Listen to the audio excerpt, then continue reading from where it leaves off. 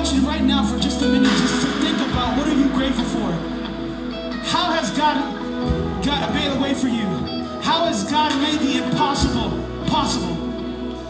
2020, I really want to start off this, this today right. Right now, I just want you to express your worship.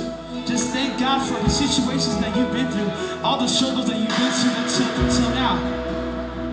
And I declare today, I declare today that something will erupt, that something will occur, something will happen in your life to make you to start to start believing again. Last time, I just want you to sing this out. Come on, help me sing. Waymaker.